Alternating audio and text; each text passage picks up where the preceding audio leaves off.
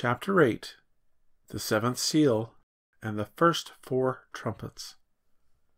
Central to the theme of judgment is the scroll with the seven seals. The scroll contains God's plan of judgment, a plan that is both complete and comprehensive, and can only happen because the Lamb was found to be worthy to take the scroll and break the seven seals. With the breaking of the first six seals, calamity has fallen upon the earth and upon humanity. When the Lamb breaks the seventh seal, there is silence in heaven for the space of half an hour. Time that weighs heavy upon creation and yet is incomplete, because it is not the end of the judgment, but the start. The breaking of the seventh seal is the beginning of the reversal of creation in the book of Genesis. The judgment of God will not be complete until the stain of evil is completely removed from creation, an event which will necessitate the recreation of the universe. Following the breaking of the seventh seal, seven powerful angels, or archangels, are given trumpets, and each in turn will sound their trumpet to herald a specific aspect of the judgment of God upon the world. This is different than the final judgment, which will be of individuals, for this judgment is upon humanity as a whole.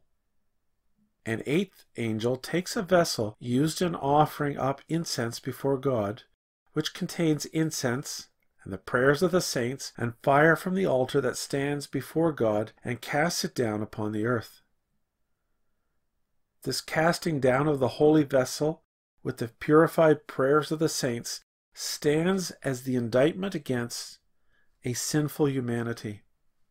The patience of God is at an end, and from now on, the only prayer of the sinner that God will entertain is a prayer of repentance, a plea for mercy from the heavenly court. The judgments of the seven trumpets will be partial because there are still those who will repent, and God is offering up to the people of the world a little more time to turn from their sins. The sounding of the first trumpet heralds the destruction of a third of the trees and all of the grass upon the earth.